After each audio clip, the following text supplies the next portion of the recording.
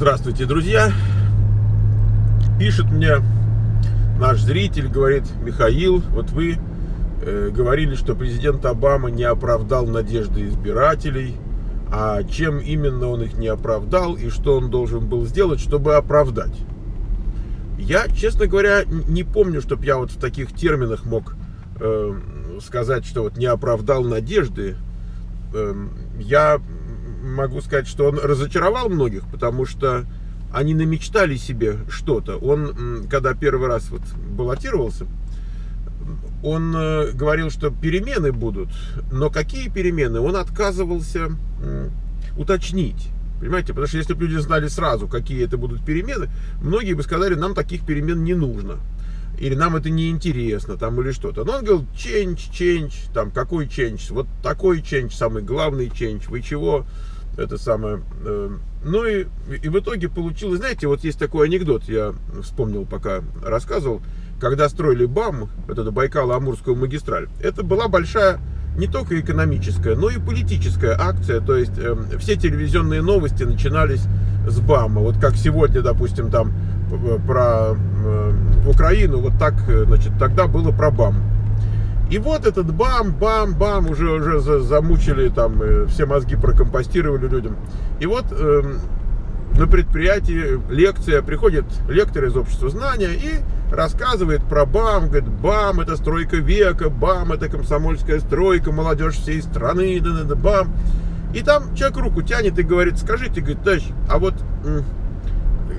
дорога сама вот эта ну, железная, она там одноколейная будет или двухколейная? Тот говорит, товарищи, да бам, это стройка века, это молодежь всей страны, это мировая общественность наблюдает. Это... В общем, не отвечает на вопрос. После лекции этот вопрошавший так подходит и там в коридоре говорит, я говорит, подумал, может вы не хотите при всех, так может вы мне так скажете. Он говорит, ты понимаешь, мужик, нет ответа на вопрос. Говорит, сейчас самый ответственный момент. Сейчас э, тоннель пробивают в громадной горе, пробивают тоннель, с двух сторон пробивают. Если сойдется, будет одноколейный, если разойдется, будет двухколейный. Вот это примерно та ситуация, в которой оказался Обама, понимаете? То есть он обещал какой-то ченч, там бам, шмам, сейчас ченч, такой ченч, и все ждали ченч.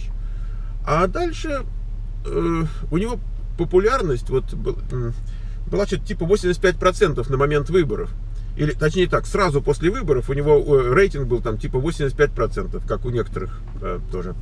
А, а прошло буквально, ну, я не знаю, пару-тройку недель, и уже там сильно упало. Потому что э, люди хотели так, такой change, знаете, который не только кардинальный, но вот прямо сейчас. Вот, вот заступил на должность, давай change. А тут же еще что произошло? Эм, Обама, у него были большие планы по расходованию государственных средств. Он на эти деньги норовил и тут, и там. Э, вот. А, а тут кризис. Понимаете, так его избрать-то его избрали. А тут кризис, причем жуткий кризис, нехороший такой, в финансовой системе, и безработица, и все дела, и, и нету денег. Понимаете, мимо бабок. А как же ты без бабок и ченч? Ну, поэтому так вот он и разочаровал но я хочу сказать, что абсолютно любой президент Соединенных Штатов обязательно должен разочаровать э, свой электорат. Потому что все-таки президент, э, он хоть и выдвигается одной партией, да, но все-таки он президент всей страны. Поэтому он должен проводить такие решения, которые, может быть, даже и не нравятся его собственному электорату, но все-таки есть еще и другие люди тоже, и деваться некуда есть международные партнеры, есть там кризисы, знаете, где финансовые, где там нефтяные, да, где военные, где еще чего. То есть есть масса непопулярных вещей, которые ему приходится делать. И что бы он ни делал, всегда будет кто-то, кто недоволен. Ты не можешь делать что-то, чтобы были довольны сразу все. Эм, так что,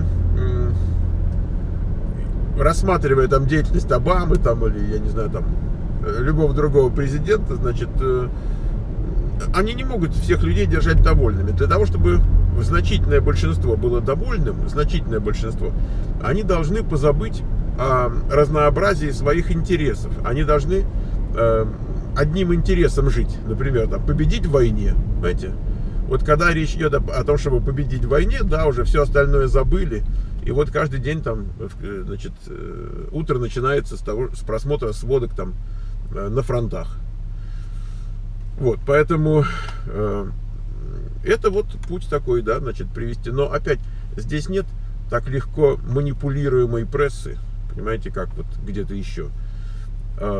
И здесь очень разнообразный экономический интерес присутствует. То есть помимо, скажем, нефтяного там сегмента там, или газового, да, все-таки присутствует и там машиностроение мощнейшее, и оборонка, и космос, и софтвер, и технологии всех мыслимых, немыслимых направлений и так далее. Поэтому, знаете, и, и, надо, и надо, чтобы все были более-менее в порядке, понимаете? А, пренебречь кем-то можно опять, если экстремальные обстоятельства, и они тебя вынуждают, а если нет экстремальных, тогда как? Поэтому они, конечно, не могут держать всех э, в состоянии, так сказать, перманентного счастья. Вот, когда интересов много, когда они конфликтуют, когда э, надо искать компромиссы, а есть люди бескомпромиссные, а есть люди наоборот такие компромиссные, что мать родную там на 3 копейки обменяют. И вот это все начинается и закручивается. Вот. Плюс политиканство к этому добавляется, да, то есть есть люди, которые говорят не потому что что-то, а потому что надо что-то сказать. И обязательно быть в оппозиции, и обязательно с умным лицом, и кулаком в грудь стукнуть, э, в надежде, что кто-то захочет тебя слушать. Хотя сейчас, конечно, с этим сложнее становится.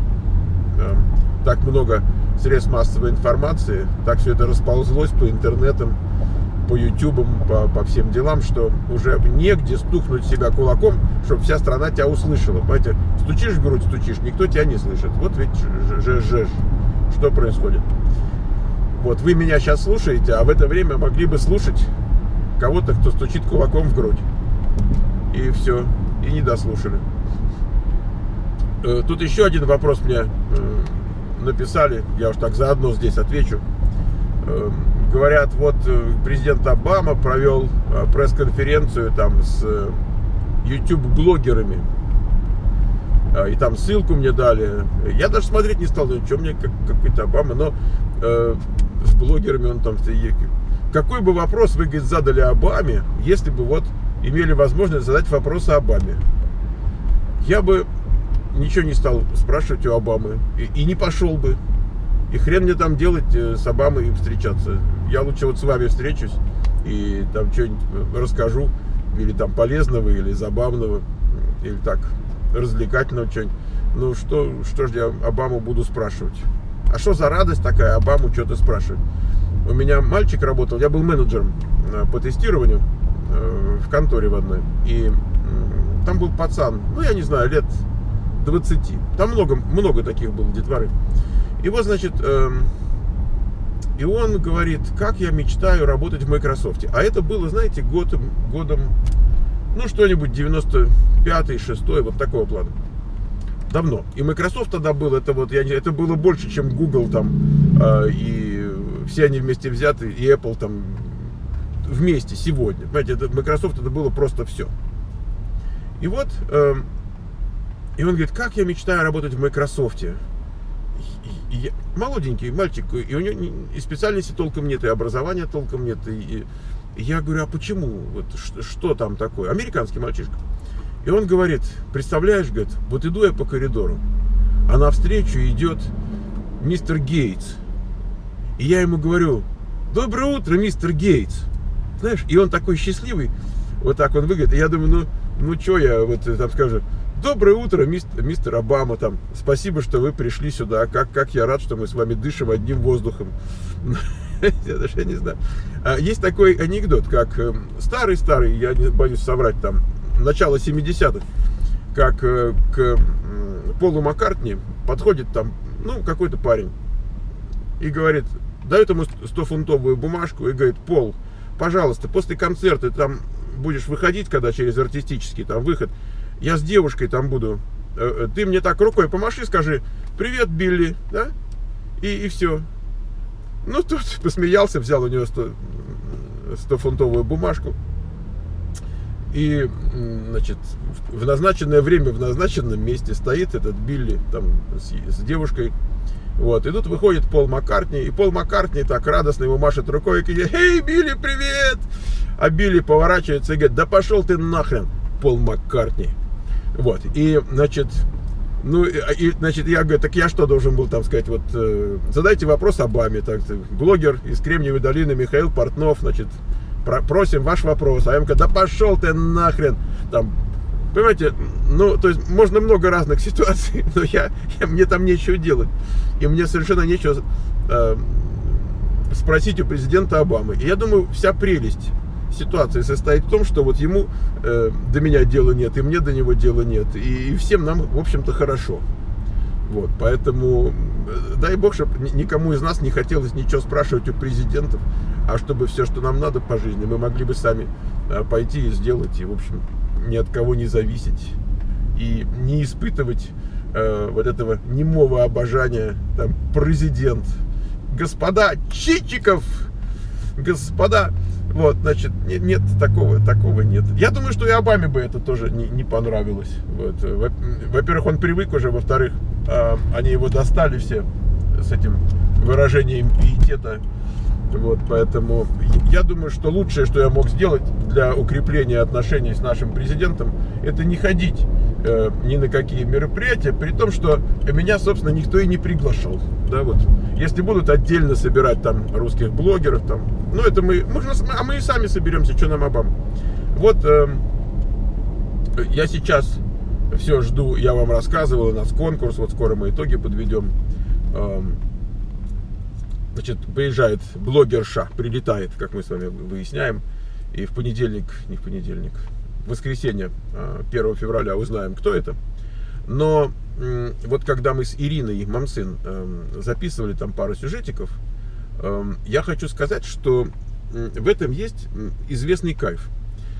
Потому что а, когда мы просто ну, людей там снимаем, интервьюируем, э, видео делаем, а, есть такие, знаете, игруньи, а, артистичный есть народ, есть просто такой вполне адекватный.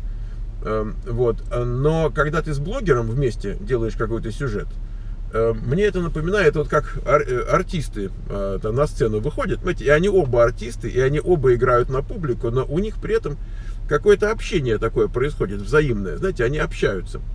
Вот, потому что когда вот я один с вами разговариваю, я как бы вот там театр одного актера, и там цирк, вот, а, значит, а когда двое, и мы не сговариваясь, там что-то такое понимаем, и друг другу как бы наигрываем, подыгрываем, там как-то прикалываемся.